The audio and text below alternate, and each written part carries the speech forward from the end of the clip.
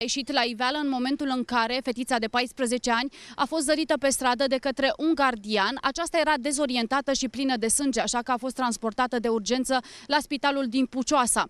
Aici medicii și-au dat seama de faptul că a întreținut relații sexuale.